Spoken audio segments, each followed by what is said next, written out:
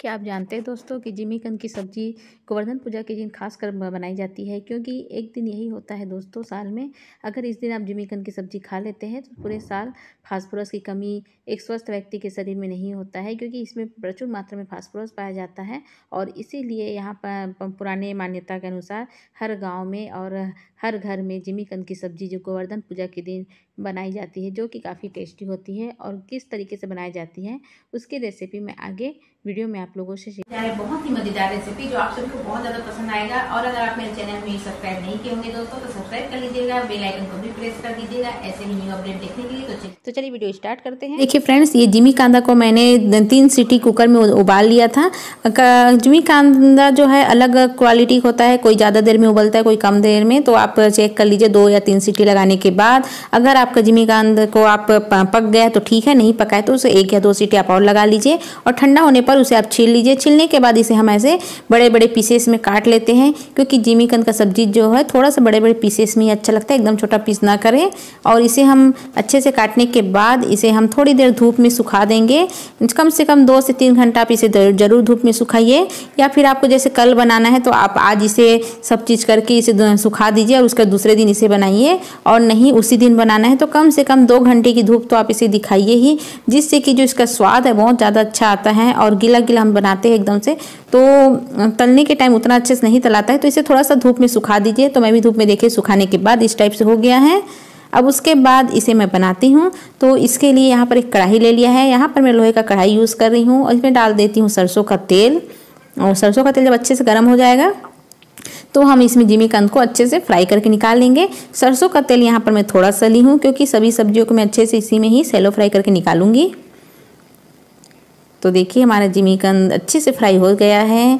जब ये अच्छे से फ्राई हो जाएगा, तभी आप इसे निकालिए, क्योंकि बहुत ज़रूरी है इसको, बहुत ही इंपॉर्टेंट है कि आप इसे अच्छे से फ्राई कीजिए। अगर आप अच्छे से फ्राई नहीं करेंगे तो जिमीकंद का जो स्वाद है, आपको उतने अच्छे से नहीं आएगा जैसे आप चाहते हैं।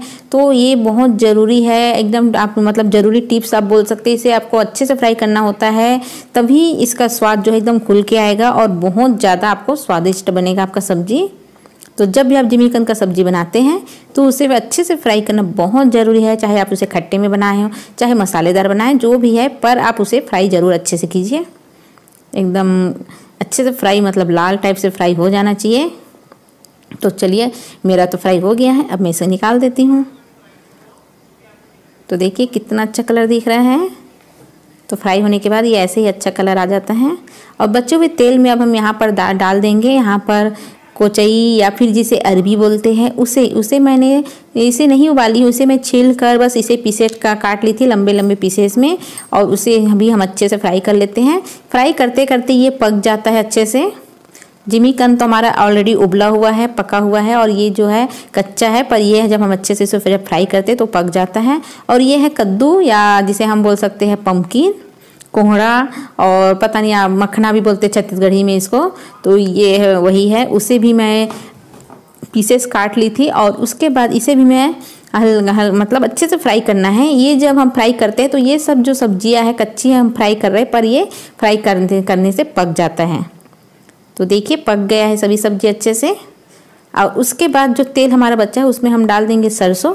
अगर तेल आपका जैसे ख़त्म हो गया है, कढ़ाई में सब चीज़ को फ्राई करते टाइम तो आप थोड़ा सा तेल इसमें डालिए सब्ज़ी बनाने के लिए।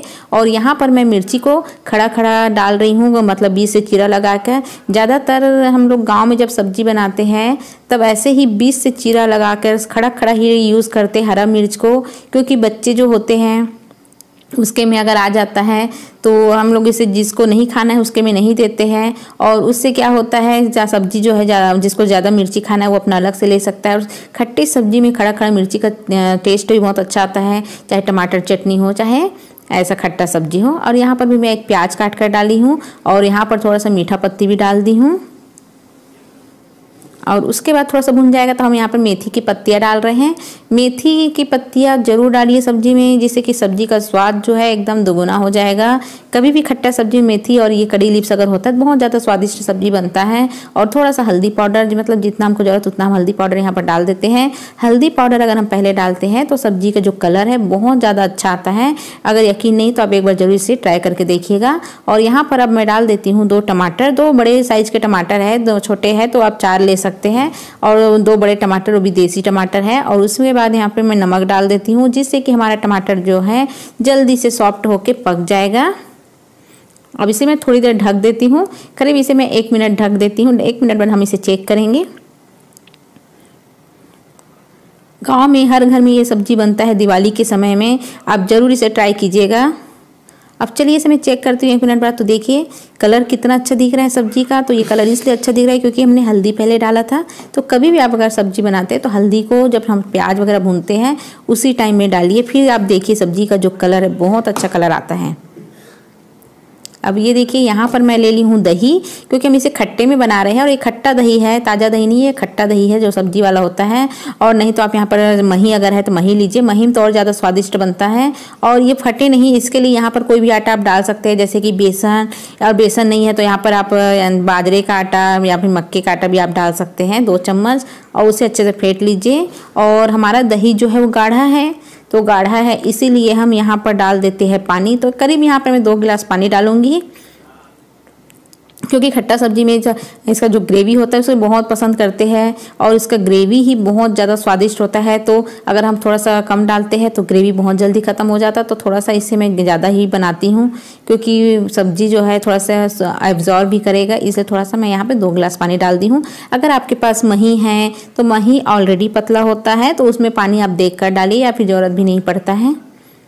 तो अभी हम इसे देखिए, जो हमने फ्राई करके रखा था, उसे भी डाल दिए है जिमीकंद वगैरह को। और ये है फर वाला धनिया। तो फर धनिया को यहाँ पर मैं हल्का सा कूट लेती हूँ या फिर क्रश कर लीजिए। और अगर फर धनिया नहीं है तो आप यहाँ पर धनिया पाउडर डाल दीजिए। तो सब्ज़ी में देखो, उबाल आना शुरू हो गया है। इसे अच्छे से बॉईल होने दीजिए, जिससे कि जो टेस्ट है बहुत अच्छा आएगा और खट्टा जो है सब्ज़ी में अच्छे से हो जाएगा, जैसे कि जिमीकंद वगैरह में। तो देखिए, अब हम चेक करते हैं।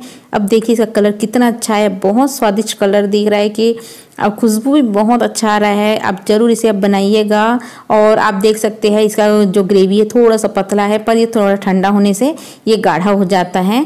तब मैं गैस इसलिए अभी बंद कर देती हूँ क्योंकि ये ठंडा होने पर और थोड़ा सा गाढ़ा होगा। और इसका जो ग्रेवी है, सब्ज़ी है, बहुत स्वादिष्ट है। हर घर में बनता है क्योंकि भगवान को भोग भी लगता है और हर घर में बनता है। आप ज़रूर इसे एक बार ट्राई कीजिएगा और हमारे छत्तीसगढ़ का स्वाद को याद कीजिएगा दोस्तों। तो देखिए, यहाँ पर मैं जो धनिया क्रश करके रखी थी कूट कर उसे डाल देती हूँ। गैस बंद होने के बाद आप जब भी फर धनिया उसे डालिए, उसके बाद टेस्ट बहुत ज़्यादा बढ़ जाता है। अब इसे मैं ठंडा होने पे सर्व कर लूँगी। तो ये देखिए, इसे मैं सर्व कर दी हूँ, जो कि खाने में बहुत ज़्यादा टेस्टी लगता है। तो चलिए, हम अगले वीडियो मिलते तब तक के लिए बाय, टेक केयर।